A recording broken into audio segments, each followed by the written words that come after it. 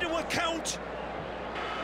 Quickly taken wide for Alves, who's been much more involved under Luis Enrique. Messi tried to scoop it through, gets the deflection, dances around two, and places it in the corner.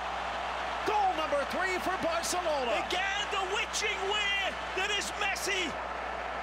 The beautiful witching way, the hesitation. He plays his cards like a pure poker player. He waits. He hides. He hesitates. And then at the last exquisite second, he detonates. Poker player indeed. In Elche, it's like playing poker against a witch.